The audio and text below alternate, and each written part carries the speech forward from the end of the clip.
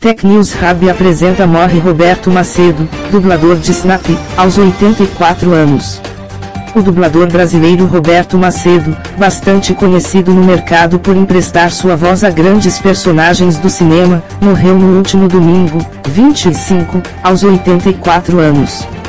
O falecimento foi confirmado pelo perfil Retiro dos Artistas por meio das redes sociais nesta terça-feira, mas a causa da morte não foi revelada. Ver essa foto no Instagram. Uma publicação compartilhada por Retiro dos Artistas, arroba Retiro dos Artistas. Org.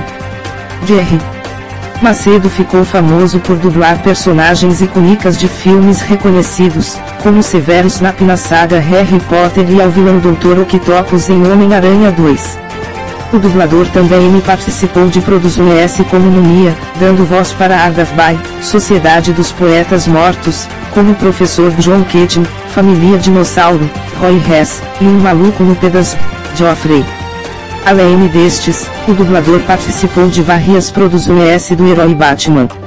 Dublou o Homem Morcego no desenho Batman do Futuro e também me emprestou sua voz para o vilão Espantalho em Super Amigos, para o prefeito de Gotham em Batman, a série animada e, por fim, ao comissário Gordon no jogo Batman, Gotham Knights. Roberto Macedo começou a carreira na dublagem na década de 1970, na Herbert Richards, e se aposentou em 2012. Apresentado por Tech News Hub.